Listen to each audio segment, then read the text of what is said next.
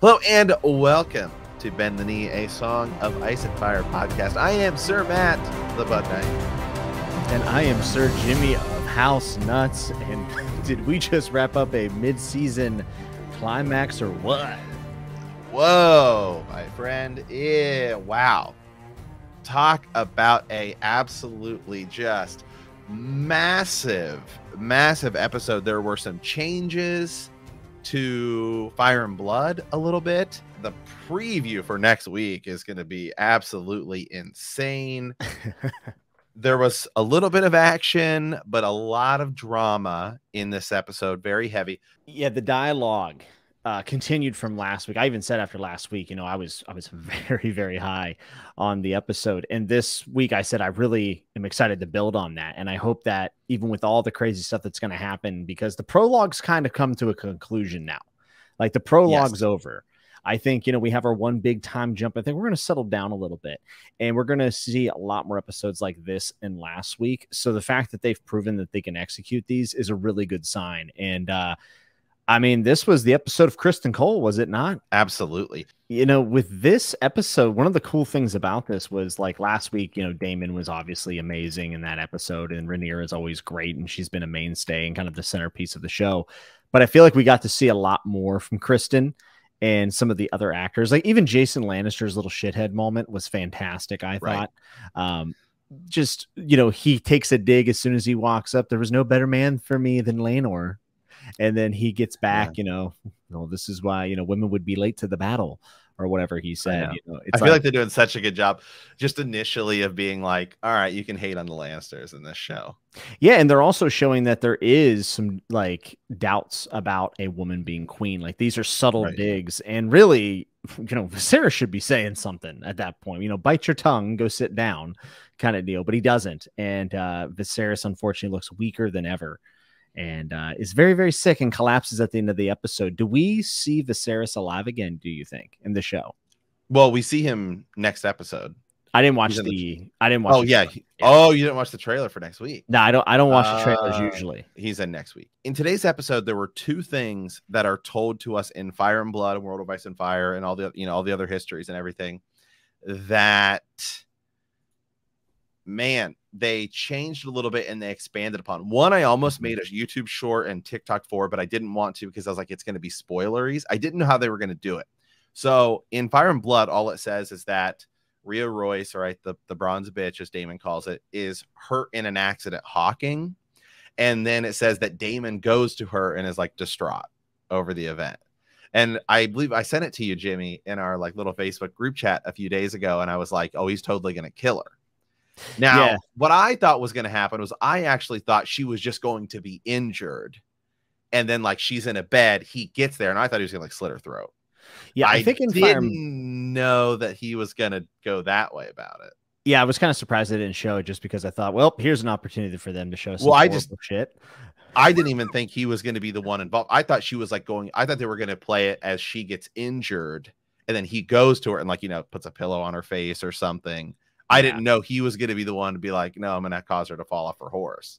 Yeah, so in the book, in the book, she falls off the horse, is in bed, and then she's treated, and she's up for like an hour, and then just dies. Right. Um, and I, th- I think Daemon goes to her after the death is pronounced. I think. Huh.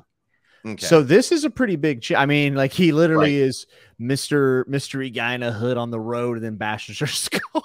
and it's like, damn, Daemon. And you know, you know, I know this isn't the Daemon episode per se, but man, even the little bit of screen time that Matt Smith gets, he capitalizes on it and really just so good. Like him just coming in late was so awkward. Like I felt awkward in the moment, and that's exactly what they wanted to convey. And they got to pull up a chair for him. Like it was almost humorous. Um, and then when he's yeah. talking to Rhaenyra in the middle of the crowd and grabs her face, and Jaher, uh, I almost said Jaehaerys, wish it was Jerry's. Viserys is like staring and he's like half he's half shit cocked because he's so sick and it's just yeah. like I don't know, man. Daemon's awesome. And every time I talk in Valyrian, I'm just like, this is the best. so good. the writing, the di like the writing for the dialogue of this is is is just back to it's Game of Thrones. I mean, it's there's there's not many other shows that I even feel like come close to the writing of of of these shows. The di- it's just so good. Like the mm -hmm. tension you feel the tension all around and like this they're still doing i said this during the during when i was i was doing the live i i liked what i saw with otto hightower there at the beginning where he's talking to Alicent, and even though you know like we like we know because you can just view the show and everything i feel like if you're maybe a first time watcher there's still a little bit of maybe otto at least the way it's sort of perceived, comes across as sort of like he is actually he he does have a legitimate point in his idea of like if the realm doesn't like this, it could cause a war. Yeah, and, and seeing, that could be really bad. Yeah, and seeing Otto's motivations laid out flat for us for the first time, you know, now in, right. in episode five, and like he has somewhat of a point. I don't know if I agree with all of his methods, uh, you know, of sending his daughter in with his dead wife's dress on and everything. But uh, I, I, he foresees an issue, and he's saying, "Why rock the boat?" Right. Um, feels better than Prime Game of Thrones in terms of core acting, quality of the dialogue, and subtext. Wow, I mean that's high praise for sure. I mean, I would say it's on par, um, for sure. And yeah, I thought the conversations were really good. Rhaenyra is such a good character. Uh, I really loved and also hated her conversation with Criston Cole on the boat. I thought, oh, by the way, was your audio a little bit weird for that conversation? Like, I felt like the audio, mm, maybe, I don't know. Sometimes uh, on the debut, when I watch it back, it's always fine. But when I first watch it, sometimes messes up. I felt like the ocean sounds were like not mixed properly. Oh, I thought that was a little weird. But I uh, watch it. I watch it on my computer with headphones, so fair. you know sometimes going through TVs and who knows. That's fair. Um, I thought that conversation was so ice cold though. Like when she says, yeah. "I am the crown."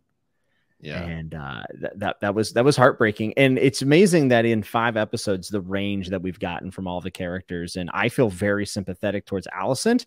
And my wife is sitting next to me on the couch, and she's like, "I think she's kind of being a jerk. Like she kind of sucks." and I was like, "Yeah, but she, you know, Rhaenyra lied." She's like, "I don't know, I don't like her." Right? Yeah. If if Rhaenyra, if the actress Milly Alcock weren't so just amazing at this, I feel like you might still be on see like each side's viewpoint, right? Like Game of Thrones. Here's like the big difference between the two is Game of Thrones, it's very obvious from the get-go that the Starks are good and the Lannisters are bad, right? Yeah. Like but they push they push Bran out the window episode one, so you're like they're bad. Then you get Tyrion, and it's kind of like, okay, well, maybe the Lannisters aren't all bad. And then as you get further, you begin to kind of see everybody's sides. And it like here, I feel like there's still kind of moments where I feel like you could see, like, okay, well, maybe like the high towers aren't all bad. Right. yes. You know, like there's definitely moments. And then like Daemon is at least like a wild card. So you're so you see him do sort of, you know, he goes and kills his wife, but we're still rooting for him because Matt Smith's just so amazing as an actor that it's just like you're just so enamored by his performance that we still are, you know, rooting for him, right? And so it's it's just so wild that it, that that's that that's the case. Um, I felt like this episode, Alicent, was this is where she kind of begins. Now that Otto leaves and she's operating on her own, this is where she begins to sort of play the Game of Thrones. Yes. She's now beginning to play that. Another big change was I mean, it still happens the same way, but in Fire and Blood, or at least on the wiki, which in the world of Ice and Fire, it said that Joffrey Lonmouth is killed in the tourney by Criston Cole. So they definitely at least yeah. changed that uh for this episode. Man, Criston Cole, he's now we like we we get a lot more of him because in the in the histories and everything, he's just kind of there. And you know, he don't want to spoil too much, but we already kind of saw that he's already shifted sh- sides now from Rhaenyra to Alicent, yes. and that will be the case. But man, he's like kind of crazy, dude. I felt my heart dropping with anticipation whenever he was confessing to the queen. Like I knew it was coming, and I was like, "Oh god, this is gonna suck. This is gonna suck." And you know, it just made my heart drop a bit. But Sir Criston Cole is like, in a lot of ways, like the saddest case in all of this, just for the sole fact that like he's someone that got lifted up to this status and thought it was going to be amazing. It's like when you get a promotion at work and you're like, this new spot's going to be sick. And like day one, they're like, so here's six months of backlog that the other guy didn't do. And you're like, yeah, shit. And it feels like Sir Criston Cole is so pure. he just wants to run away with Rhaenyra. You know, he's the he, knight in shining armor of, of the show. He's, that, he's he's Lancelot. And yes, and and he even looks. I mean, he even looks like like a Lancelot type. Like if you can, Arthurian legend Ar- type guy. Yeah. yeah. If you did King Arthur, if you did a King Arthur movie and you're like he's gonna play Lancelot, you'd be like 100. percent Looks just like you know. Eh, I feel eh, like it's it's sad because this episode you see him basically descent in he he like sinks to the level right and then kills this guy with his bare hands. So not only we seen his honor be lost, we see his heart be broken, and then we see her, him, I mean, murder someone in cold blood essentially. Yeah, um, and that's totally different now in Fire and Blood, and you know in the histories. If you do it at a tournament, then it's one thing. Yeah. Okay, you know, that sucks, whatever. But to have it happen at the wedding in front of everyone, now like everyone has to look at this guy as kind of crazy. I mean, yeah. Yeah. And how will that be kind of perceived whenever sides are drawn? And also, like, I really like the subtlety. You know, obviously the Lannisters are not cool with Rhaenyra uh, because they didn't get her hand. We have Oldtown come up, say, "Hey, Alicent, we're with you." We see the str- the Strongs having some unspoken coordination. Like, hey, go get yeah. It's a little, a little interesting. And uh, we know the Vale is not a fan of the Targaryens right now because of Daemon. Um, so it's just, I don't know. It'll be cool to see how all those things shake out in the future episodes, I think.